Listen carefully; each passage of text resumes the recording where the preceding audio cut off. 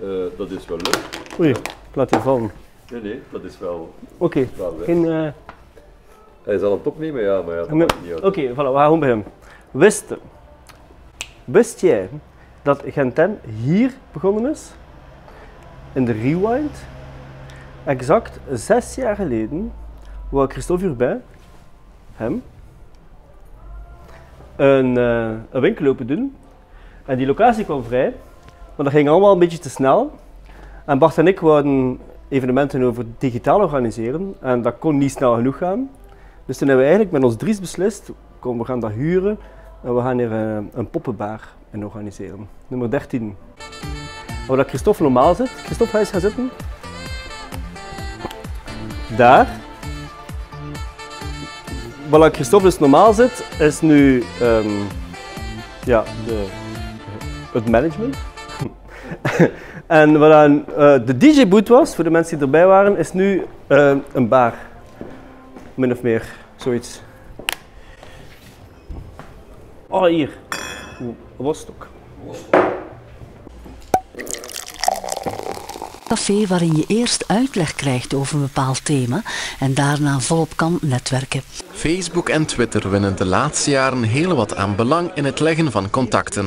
We gaan geen drie of vier jaar wachten tot het nieuwe gebouw, de nieuwe gebouwen hier staan aan de krook. We gaan eh, nu al proberen van die, die, die, die dynamiek verder te stimuleren. Dat was een fragment van de AVS-reportage over de allereerste Gentem in 2011, exact zes jaar geleden. Ehm, die avond ging over de Waalse krook, ja toen nog Waalse krook. Die krook is nu eindelijk klaar. Nee, die krook is nu eindelijk klaar. Nee, die krook is nu eindelijk klaar. Anyway, ze is klaar. Ze is open. Ik zit hier. En er zijn allerlei activiteiten gepland over technologie en over digitale media en de relatie tussen die media en technologie en de mens en maatschappij. En dat is dus heel goed nieuws. Maar dat betekent niet dat wij bij Gentem ermee ophouden. Wel in tegendeel, we zijn eigenlijk iets heel wijs van plan. Een open onderzoek over activisme. Hashtag activisme.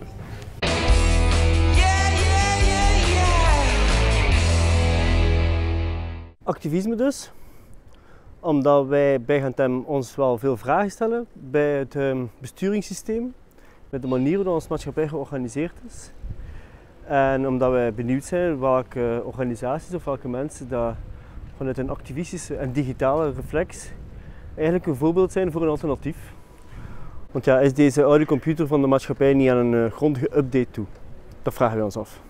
Eh, een open onderzoek, ehm, in stapjes. En stap 1 van dat onderzoek brengt ons naar Athene, de, de plaats waar de democratie geboren is.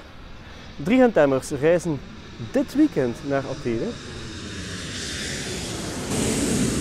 De crisis heeft, zoals je weet, veel harder toegestaan in Athene dan hier bij ons. Eh, of in Griekenland dan hier bij ons in België.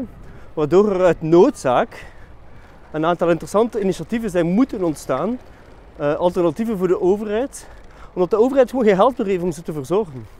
Zo is er bijvoorbeeld een ziekenhuis dat volledig georganiseerd is op, op een community. Dus op vrijwilligersorganisatie. Op die manier is Athene een soort laboratorium geworden voor activisme. En dat willen wij natuurlijk met ons eigen ogen zien. Nu, we kunnen niet allemaal naar Athene reizen. Oh ja, we kunnen wel, maar we gaan dat nu niet doen. Er zijn drie mensen, Stijn, Lisbeth en Wim, die naar Athene reizen. Maar de bedoeling is wel om zoveel mogelijk te bloggen en te vloggen, te schrijven en op te nemen. En alles te delen via de Gentem website. Er is een speciale link, gentem.be slash activisme. Ah ja, wat ik nog wil zeggen. Ook Sarah van Liefringen en Rogier de Lange, allebei al eens de gast op Gentem of de podcast, reizen mee naar Athene. Dus dat wordt razend interessant. En ik ben eigenlijk redelijk jaloers dat ik niet mee kan. Maar bon, leuk voor Wim en Stijn en Lisbeth.